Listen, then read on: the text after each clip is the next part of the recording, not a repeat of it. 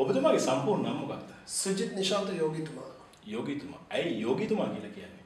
යෝගිතුමා කියලා කියන්නේ මම දීර්ඝ කාලීනව යෝගී භාවනා කටයුතු හදාරලා ඉන්දියාවේ ඒ කටයුතු ප්‍රගුණ කරපු නිසා මම මට යෝගිතුමා කියන බොහෝ අය ආමන්ත්‍රණය කරනවා. එතකොට මොකක්ද මේ ඇඳුම නිකන් සිවුරක් වගේ කහපාට ඇඳුමක් ඇඳගෙන මොකක්ද මිනිස්සු රවට්ටන්නේ කොහොමද ඉන්නේ? සිවුරක් කියන එක දන්නේ නැති අය කතා කරන්නේ. සිවුරක් කහලොගුවක් කියන්නේ වෙනම කතාවක්. මේක සාමාන්‍ය රෙද්දකින් අඳපු ඇඳුමක්. මේක ඇඳගෙන මට කාවර රවට්ටන්න ඕනේ. මොකද ඇඳුමෙන් මැනලා මිනිස්සුන්ගේ ආශ්‍රය කරන තරම් අපේ රටේ මෝඩනේ. ඒ නිසා මේක මම අඳින්නේ මම යෝගිතුමෙක් හැටියට ගෞරවාන්විතව සංවරව අඳින්න පරිදින්න ඕනේ. ජ්‍යොතිෂවේදියෙක් යෝගිතුමෙක් හැටියට මම මේක අඳින්නේ ඒක ප්‍රශ්නයක්ද? ඔබට බලයක් තියෙනවා කියලා කියනවා මොකක්ද ඒක බොරුවක් නේ? කවුද මට බලයක් තියෙනවා කියලා කිව්වේ? මම කියලා තියෙනවද? මට බලයක් තියෙනවා කියලා නෑ. මට යමක් තියෙනවා කියන හින්දානේ මිනිස්සු මම ගාවට එන්නේ. මිනිස්සුන්ට ඒක දැනුම් නැති කාලෙක මිනිස්සු එන්නේ නැති වෙයි. මේ රටේ රාජ්‍ය නායකයන්ගේ ඉඳලා සාමාන්‍ය මිනිස්සු මාව හොයාගෙන ඉන්නේ. මගේ ගාව මොනවා හරි තියෙන හින්දා. ඔවුන් තියෙන හින්දා ඔවුන් මම ගාවට එනවා. මට එහෙම බලයක් එහෙම දෙයක් නැති තාක් කාලෙට ඔවුන් එන්නේ නැති වෙයි. ඒක කිසි ප්‍රශ්නයක් නෙමෙයි මට. මම කිව්වේ නෑනේ මට බලයක් තියෙනවා කියලා. පහුගිය මැතිවරණ කාලේ ඔබ UMP එකට කඩේ ගියා කියලා කට්ටිය කියනවා. ඉතින් ඒක ඇත්තද කතාව? UMPට කඩේ යන්න ඕනේ මම කිසිම දේශපාලනඥයෙකුට කඩේ යන්නේ කුමන නායකයෙක් ආ, මට අදාළ නැහැ. මොකද මම දේශපාලනය කරන්නේ. කියන්න තියෙන දේ කෙලින් කිව්වා. මේ රටේ ජනයා කැමති ඇත්ත දැනගන්න. ඒ ඇත්ත දේ ඇත්ත විදියට කිව්වා. මට කිසිම නායකයෙක් විශේෂත්වයක් නැහැ. මොකද මම දේශපාලනය කරන්නේ නැති හින්දා. අපි කාගවත් පස්සේ යන්නේ මම පූජකයෙක් මම යෝ මම යෝගිවරයෙක්. ආ, මම ඒ යෝගී ආ, කටයුතු කරමින් මගේ ජ්‍යොතිෂ්‍යවේදී කටයුතු කරමින් මම වැඩ කටයුතු කරගෙන යනවා. මට ඒක එච්චර අදාළ නැහැ. දැන් ඔය ජ්‍යොතිෂයෙන් අනාවැකි කියන්නේ කෙලින්ම සල්ලි හම්බ කරන අරමුණින් නෙමෙයිද? අනාගතේ කිව්වට සල්ලි දෙන්නේ නැහැ මේ රටේ. හැබැයි ආ, ආ, මට හිතෙන දේ මට දකින්න දේ මම මිනිස්සුන්ට කියනවා. ඒක ඇත්තද නැත්තද කියලා මිනිස්සු තීරණය කරයි. ආ, යමක් අනිත් එක අපිට ලැබෙනවා නම් ඒක අපේ වාසනාව. මොකද අපි බලෙන් කාගෙන්වත් ගන්නෙ නැහැ. අපිට ලැබීමක් තියෙනවා නම් අපිට ලැබෙයි. සල්ලි හම්බ කරන්න රසාවක් හැටියට කියලා ජ්‍යොතිෂය කුමන විදියට ක- ජ්‍යොතිෂය කරන අය ජීවත් වෙන්නත් එපා. හිතෙන්නේ නැද්ද නිකන් බුදුදහම පෙන්නලා මිනිස්සු රවට්ටනවා කියලා? බුදුදහම පෙන්නලා මිනිස්සු රවට්ටන්න ඕනේ මොකද අපේ රටේ මිනිස්සු හොඳට මේ ගැන දන්නවා. බුදුදහම කියන්නේ වෙනම විෂයක්. බුදුදහම කරේ මගේ තියෙන ශ්‍රද්ධාව කවදාවත් මේකට ඇඳගන්නේ. මගේ ස්ථානේ තියෙන්නේ පූජා කටයුතු කිරීම සහ ජ්‍යොතිෂය. බුදුදහම පෙන්නලා කතා කරනවා කියන්නේ මම දන්නේ මගේ ආගම බුදුදහම. මම ඒකෙන් සමාජයට යමක් දෙන්න හදනවා. කැමති කෙනෙකුට කැමති විදිහට මා ගැන හිතා ගන්න පුළුවන්. හැබැයි එක දෙයක්. මා ඔය කවුරුත් විවේචන කරන අයට වඩා විශාල කැපවීමකින් සේවයක් බුදුදහමට දැන්වුණත් කරනවා. ඔබට අධිකරණ අමාත්‍යාංශ මොකක් හරි තනතුරක් තිබ්බද? ඔව් මොකක්ද ඒ? අධිකරණ අමාත්‍යාංශ අතිරේක සම්බන්ධීකරණ ලේකම්. දේශපාලනයට කඩේ ගිහිල්ලා දෙයකට හම්බුනේ. මම කිසිම කෙනෙකුට කඩ යන සූදානමක් නැහැ. එවකට හිටියේ රාව් ෆකින් අමාත්‍යවරයා. මහින්ද රාජපක්ෂ ජනාධිපතිතුමාගේ රජි. එතුමාම ඇවිල්ලා මගේ ගෙදරට ඇවිල්ලා මට දුන්නේ. අනිත් එක මහා සංඝරත්නයත් එක්ක ගිහිල්ලා තමයි ඒක ලබා ගන්න. ඒක මට දුන්නු ගෞරවාන්විතව තනතුරක් වෙන මම ඔවුන්ගේ දේශපාලන වේදිකාවකට ප්‍රචාරයකට කිසිම දවසක මම සහයෝගය දීලත් නැහැ. අනාගතේ දෙන්නේ නැහැ. අනිත් එක රාව් ෆකින් කියන්නේ මං ජීවිතේ කිසිම දවසක සහයෝගය දෙන්නේ නැති කෙනෙක්. ආරක්ෂාවන් එහෙම කරනවලු නේද? ඔව් මං කරනවා. ඒ වගේ දේවල් වලට බර ගන්නවා කියලාත් ඉතින් ආරංචි. ඔව් වියදම් කරන්න පුළුවන් කෙනා වියදම් කරයි. මොකද මං විතර නෙමෙයිනේ. සෞඛ්‍ය ශාස්ත්‍රය ගත්තම පුද්ගලික රෝහලකින් සාමාන්‍ය තැනකට වඩා විශාල මුදල් අය කරනවා.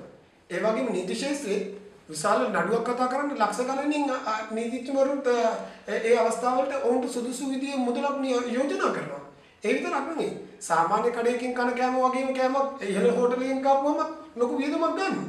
ඒ නිසා පේමන්ට් එක ගන්නට වඩා පුස්තිකී ගන්න.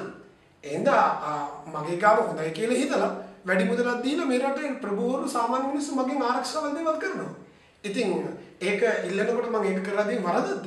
මොකද එතන තියෙන වරද මොකද්ද? මිනිස්සුන්ගේ ඉල්ලීමට මම ප්‍රතිචාර දක්වනවා. ඉතින් ওই විදිහට අහිංසක මිනිස්සු රවට්ටනවා කියලා හිතෙන්නේ නැද්ද? මේ රටේ එකම පුද්ගලයා මම නම් රවට්ටනවා කියලා හිතන්න පුළුවන්. දහස් ගණන් මිනිස්සු ඉද්දි ඔය අහිංසක මිනිස්සු මයි ගාවට මොහාගෙන ඉන්නේ. සහනයක් හොයාගෙන මයි ගාවටම කොළඹ මාතර මිනිස්සු මාව හොයාගෙන ඉන්න තව කී දිනක් බහු කරලාද? ඒ මයි ගාව තියෙන නිසා. අනිත් මේ රටේ සාමාන්‍ය මිනිස්සුන්ට මම දෙයක් කරන්නේ කැමතිද කියලා යෝජනා කරනවා. ප්‍රශ්න පහක් ගන්නවා. ඒ ප්‍රශ්න පහට බැංකු ලෝන් ගන්න බැයි නම් ආ, ණයට අරගෙන නෙමෙයි නම් කන්න තියෙන සල්ලි වලින් නෙමෙයි නම් ඔබ විශ්වාසයෙන් නම් කටයුතු කරන්නේ ආ, තමන්ට හැකිය කියන කෙනාට මගෙන් කරගන්න පුළුවන්. මොකද පිස්තෝලයක් ඔළුවට තියනවා පොකට් ගහලවත් අනිවාර්යෙන් බෙල්ලට පීයේ තියලා මගෙන් අනිවාර්යෙන් කරගනින් කියලා නෑ. මේ රටේ මිනිස්සුන්ට බුද්ධියක් තියෙනවා. ඔළුවක් තියෙන පුද්ගලයෙක් මෙච්චර මාධ්‍ය දැනුවත් කරනකොට කැමති කෙනෙක් මේක තීරණය කරයි. ඔහුට අකමැති නම් ඕනේ කයිනේ. ආම මිනිස්සුම රවට්ටන්න දෙයක් නැහැ. මතක තබා ගන්න. රුපියල් 1000ක් මිනිස්සෙක් දෙයකට වියදම් කරන්න දහස් වතාවක් හිතනවා. ඔබ හිතන්න එපා මේ අපේ ගාවට ඇවිල්ලා අපි කිව්ව පමණින් දෙයියෝ බුදුන් වගේ එවලේම ලක්ෂ ගණන් පුදුන අපිට යනවා කියලා. ඔය එකිනෙක මඩ ගහන්න කියන කතාව විදිහට මිනිස්සු දෙන්න ලෑස්ති නැහැ. මිනිස්සු බුද්ධිමත්. ඒ නිසා ඇත්තද කියලා හොයලා බලලා දහස් වතාවක් කල්පනා කරලා, ගෙදරත් එක්ක සාකච්ඡා කරලා තියෙන මිනිස්සු ඇවිල්ලා කරගන්නවා. අහිංසක මිනිස්සයාට අපි ඉතින් දහමට අනුව විසඳුමක් දීලා යනවා. මට කාව රවට්ටන්න අවශ්‍ය නැහැ. ඉතින් දැන් ඔබ යෝගීවරයෙක් කියනවා. ඉතින් මොකටද ඔච්චර සල්ලි? මම බොහොම කැමති දහමට අනුව ජීවත් වෙන්න. මගේ හම්බ කරන සියලුම දේවල් බුදුදහමට අනුව වියදම් කරනවා. මේ රටේ ගම්මාන වල ඉන්න අහිංසක දුප්පත් මිනිස්සුන්ට වියදම් කරනවා. අහිංසක දරුපවුල් ජීව දරුපවුල් ජීවත් වෙන්න උපකාර කරනවා. ගෙවල් හදලා දෙනවා. පන්සල් ගණනාවක් හදලා තියෙනවා. ඒ විතර නෙමෙයි චෛත්‍ය භාවනා මධ්‍යස්ථාන හදලා තියෙනවා. ඒ විතර නෙමෙයි මම දැන් පන්සලක් හදලා දුප්පත් දරුවෝ ගෙනilla අපේ නායක හඳුරුවාරා පැවිදි කරවලා ඒ දරුවන්ගේ මේ ශාසනය අනාගත වෙනුවෙන් ඒ දරුවන්ගේ අනාගත වෙනුවෙන් මගේ මූල්‍යමය දායකත්වයෙන් විශාල ශාසනික කර්තව්‍යයක් කරගෙන යනවා. ඒ විතරක් නෙමෙයි මට පුළුවන් හැම තැනකම අපේ සිංහල බෞද්ධ ජනතාව වෙනුවෙන් බෞද්ධයා වෙනුවෙන් නිහඬ සේවයක් කරනවා. ඔවුන්ගේ පොත්පත් ආහාර පාන ජීවත් වෙන්න පන්සල් වලට තියෙන පන්සල් ගණනාව මගේ දායකත්වයෙන් අවුරුදු 10ක් තිස්සේ පන්සල් 10ක් නඩත්තු කරනවා. මා උපයවන සා යම් මුදලක් මේ රටේ පන්සල් වලට භික්ෂුන් වහන්සේලා වෙනුවෙන් මහාග සේවයක් කරා. ඒකයි මට අවශ්‍ය සාධි. දැන් එතකොට මොකක්ද මේ ජීවිතයේ අන්තිම බලාපොරොත්තුව? පැවිදි වීම. මා මට කියලා විශාල දේවල් නැහැ. මා ගෙවල් අරන් දාලා නැහැ. මට කියලා වතු පිටි නැහැ. මම කිසිම විදිහකින් මගේ නමට කිසිම වත්කමක් නැහැ. මා හම්බ කරපු දේ වියදම් කරා. අවසානයේ තව ටික කාලයක් තුළදී පැවිදි වෙනවා.